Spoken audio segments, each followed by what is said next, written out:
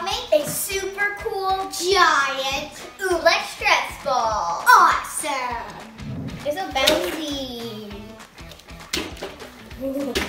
First, we're gonna need a few things.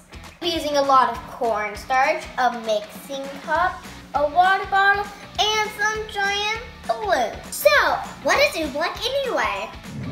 Oobleck is a substance that can act like either a liquid or a solid. The cornstarch absorbs the water really quick. If you push it really fast, it turns into a solid.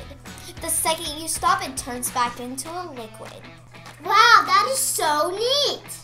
Now back to our giant stress ball. The first thing we're gonna do is pour our cornstarch into our container. And then add some water. Cool!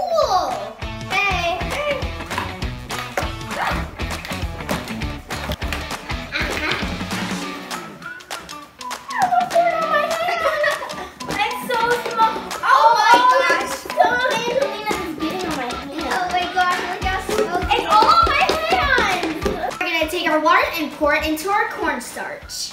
We're gonna take our hands and mix it. Look how cool this is, guys. Then you can just e- easily form it into a ball and then it goes back. What? So cool. Yeah. Like this oobleck is so, So cool. You form in a ball and then it comes back to liquid. I love that.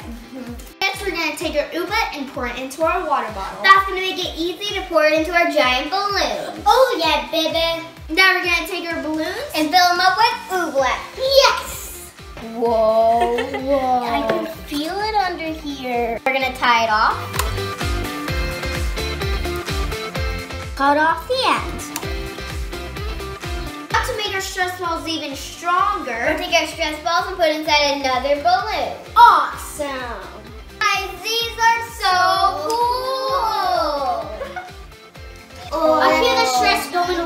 Already. Yeah, it's Yeah, so, feels so cool. nice.